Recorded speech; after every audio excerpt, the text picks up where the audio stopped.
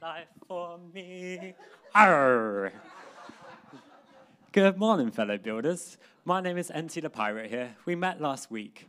We were looking for one of the gr- greatest treasures of all. It was the gift of the Holy Spirit. And since I've invited Jesus into my life and received the Holy Spirit, I no longer steal ships anymore because something inside of me just won't let me. something just feels wrong, you know? I can't do it anymore.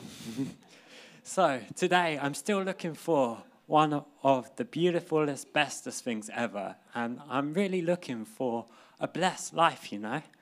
So, what's going to bring a blessed life?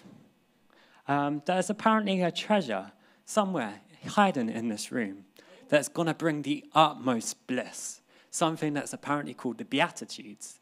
So, fellow younger builders, if you call yourself young, um, can you look around the room and look for some treasure scrolls?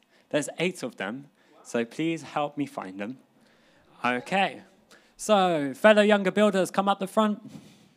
So, what does it say?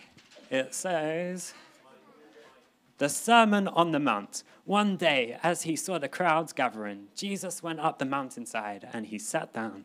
His disciples gathered around him and he began to teach them. The Beatitudes, what does it say? God blesses those who are poor and realize their need for him, for the kingdom of heaven is theirs. God blesses those who mourn, for they will be comforted. God blesses those who are humble, for they will inherit the whole earth. God blesses those who hunger and thirst for justice, for they will be satisfied. God blesses those who are merciful, for they will be shown mercy. God blesses those whose hearts are pure, for they will see God. God blesses those who work for peace, for they will be called the children of God. And God blesses those who are persecuted for doing right, for the kingdom of heaven is theirs. God blesses you when people mock you and persecute you and lie about you and say all sorts of evil things against you because you are my followers. So, we have the final one. Yay! So, what do we do? We need to be happy about it. Be very glad, for a great reward that awaits you in heaven. And remember, the ancient prophets were persecuted in the same way. That's from Matthew 5 1 to 12. Thank you very much, young. So, what on earth can this treasure mean?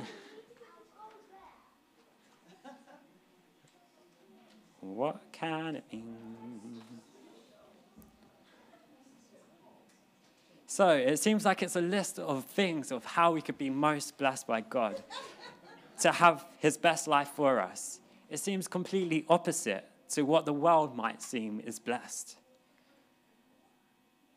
I suppose that's why they say that the kingdom of God is like the upside down kingdom. God turns troubled situations around for our good and for His glory. So when we follow His will and His way, we get blessed far beyond our imagination.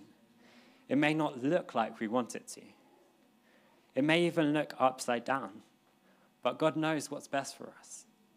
He knows what is blessed for us. His kingdom is worth building. Let's use this treasure to impact the world. Join me, young builders, out the back during the preach to unpack more about what these upside down values look like. NT the pirate, over and out. Arr.